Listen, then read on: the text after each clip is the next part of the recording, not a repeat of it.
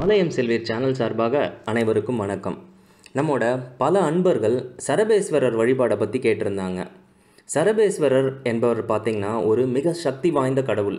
பயம் கவலை நீங்க செல்வம் பெருக சந்தோஷம் நிலைத்திருக்க பேராபத்திலிருந்தும் பெரும் நஷ்டத்திலிருந்தும் விடுபட பில்லி சூன்ய தொல்லைகள் போன்ற பல விஷயங்களை அகற்ற சரபேஸ்வரர் தான் நமக்கு கண் கண்ட தெய்வம். அப்படிப்பட்ட சரபேஸ்வரரை பற்றின பதிவு தான் இது. இந்த பதிவில் சரபேஸ்வரரோட ஒரு சின்ன வரலாறு எப்படி சரபேஸ்வரர் உருவானார் என்பதை பற்றியும் சரபேஸ்வரர் கவசத்தை பற்றியும் அவரை இந்த கவசம் சொல்லி எப்படி வழிபடணும் என்பதை பற்றியும் சரபேஸ்வரர் மூல மந்திரம் மற்றும் சரபேஸ்வரரின் காயத்ரி மந்திரம் அது மட்டுமன்றி எங்கெல்லாம் சரபேஸ்வரருக்கு லிங்க ரூபமாக கோயில் இருக்குது இப்படி முழுமையான ஒரு பதிவாக நாங்கள் இதை உங்களுக்காக பண்ணியிருக்கோம்.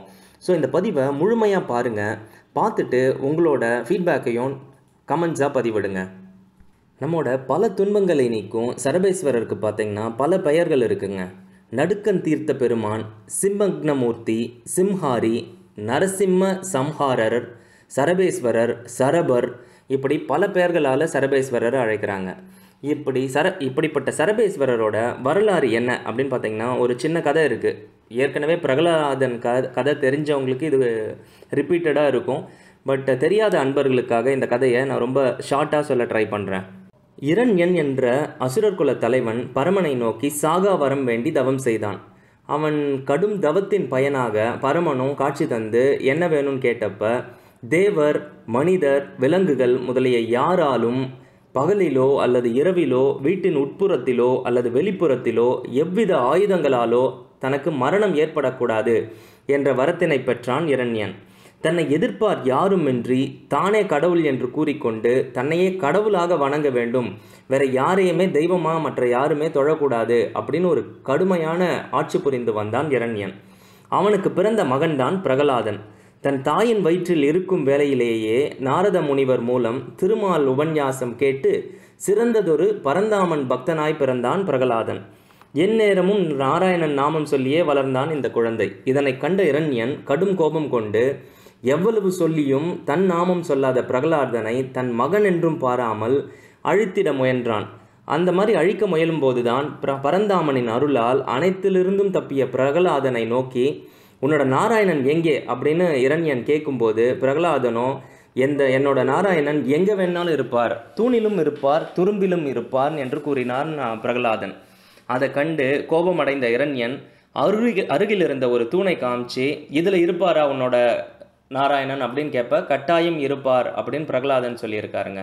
அதிலிருந்து தான் தன்னோட கதை அந்த கதை வைத்திருப்பாங்க இல்லையா? பீமன் கூட கதை வைத்திருப்பார். அந்த மாதிரி அந்த கதையை கொண்டு தூணை தாக்க அதிலிருந்து நரசிம்ம உருகொண்டு வெளிப்பட்டார் பரந்தாமன். இரண்யனது வரத்தின்படியே மனிதனாகவோ தேவராகவோ விலங்காகவோ இல்லாது அனைத்தும் கலந்த கலவையாய் நரசிம்மராய் வந்து இரவோ பகலோ அல்லாத அந்தி நேரத்தில் எவ்வித ஆயுதங்களுமின்றி தன் நகத்தினை கொண்டே வீட்டின் உள்ளேவும் இல்லாமல் வெளியேவும் இல்லாமல் வாசற்படியில் வைத்து இரண்யனை வதம் செய்தார். இப்படி கோபத்தின் உச்சத்தில் இருந்த நரசிம்ம அவதாரம் அசுரனின் குருதி குடித்ததால் மயங்கி ஆக்ரோஷமானார்.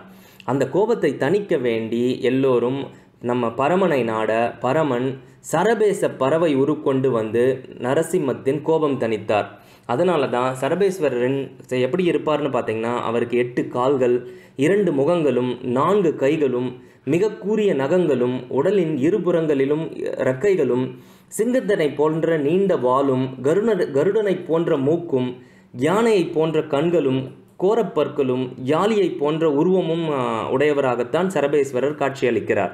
இப்படி ஒரு விசித்திர மற்றும் அபூர்வ பிறவியாய் தோன்றி நரசிம்மரின் கோபத்தை தணித்ததாக குறிப்புகள் இருக்கின்றன. இது மட்டும் இல்லாமல் வேறு சில மாதிரியும் சொல்கிறாங்க என்னன்னு பார்த்தீங்கன்னா காஞ்சி புராணத்தில் நரசிம்மரின் உக்கிரத்தை அடக்க பரமன் வீரபத்திரரை அனுப்பியதாகவும் நரசிம்மரோ வீரபத்திரரை கட்டி போட்டுட்டு வேடிக்கை பார்த்ததாகவும் அந்த சமயத்தில் நம்ம சிவன் ஒரு ஜோதி ரூபமாக வீரபத்திரர் உடலில் புகுந்ததாகவும் உடனே சரபேஸ்வரராக வீரபத்திரர் உருமாறி நரசிம்மத்தை அடக்கியதாகவும் கூறுகிறார்கள்.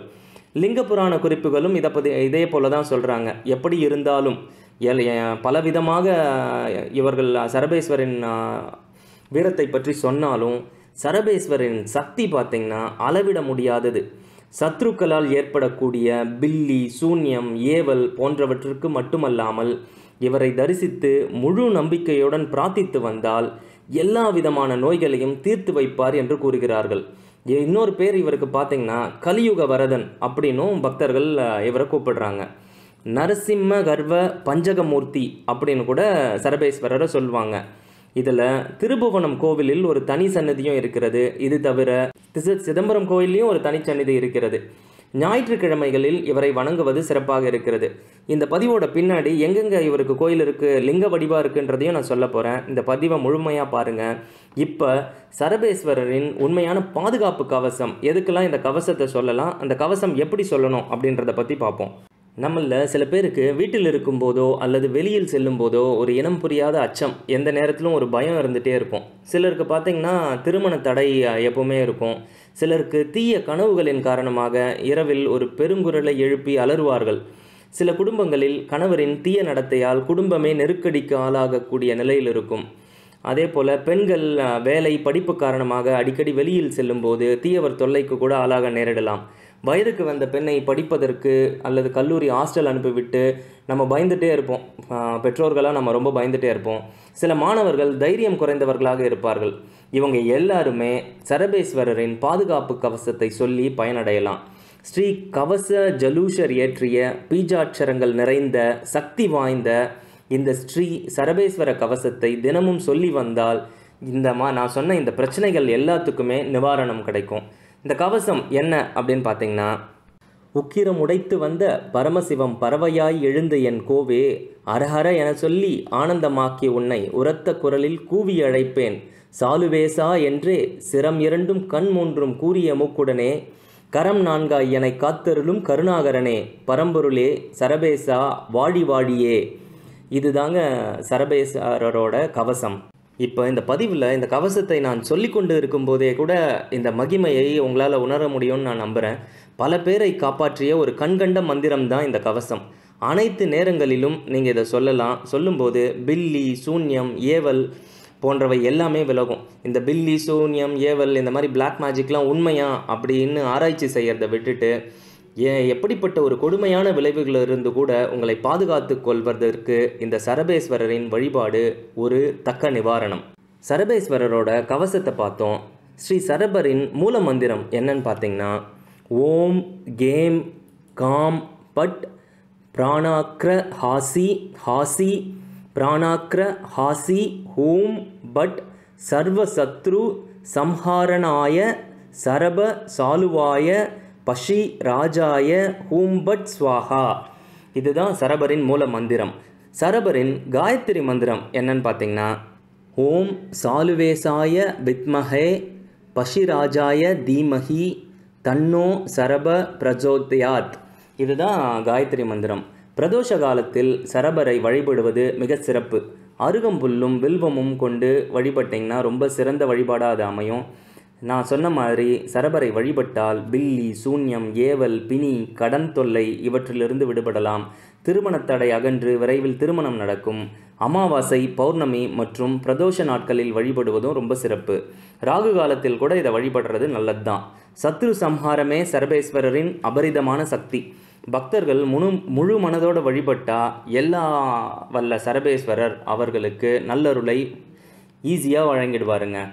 இப்போ சரபேஸ்வரர் எந்த மாதிரி வடிவங்கள் லிங்க சரபேஸ்வரராக எங்கெல்லாம் இருக்காருன்னு பார்த்தீங்கன்னா காஞ்சிபுரம் அருகில் உள்ள தாமல் நகரில் லிங்க உருவத்தில் சரபேஸ்வரர் உள்ளார். இந்த மாதிரி வேறு எங்கேயுமே லிங்க சரபேஸ்வரர் இல்லை என்பது ஒரு குறிப்பிடத்தக்க ஒரு செய்தி. தஞ்சாவூர் மாவட்டத்தில் உள்ள திருபுவனம் கம்பகேஸ்வரர் கோவிலில் சரபமூர்த்திக்கென தனி சன்னதி உள்ளது. அது மட்டும் இல்லாமல் எந்த மாதிரி டைமில் நம்ம சரபரை வணங்கி சரபரோட போற்றி சொல்லணும்னு பார்த்தீங்கன்னா ஞாயிற்றுக்கிழமை ராகு காலத்தில் மாலை நாலரை டு ஆறு. நீங்கள் உங்கள் ஊரில் இருக்க ஏதாவது ஒரு சிவன் கோயிலுக்கு உள்ள சரபேஸ்வரர் முன்போ இல்லை வீட்டில் விளக்கேற்றியோ நான் இப்போ இந்த பதிவில் கொடுத்துருக்க போற்றியை சொன்னீங்கன்னா உங்கள் கவலைகள் நீங்கும் தேவையற்ற ப பயம் விலகும். அது மட்டும் இல்லாமல் நீங்கள் நினைத்த செயல்கள் எல்லாமே வெற்றியை தரும். நீங்கள் எந்த செயலை செய்ய நினச்சி இந்த போற்றியை சொல்கிறீங்களோ அதில் உங்களுக்கு வெற்றியே கிட்டும். இப்போ இந்த நூற்றி எட்டு போட்டியை போற்றியை வீடியோலேயே உங்களுக்கு நாங்கள் கொடுத்துருக்கோம்.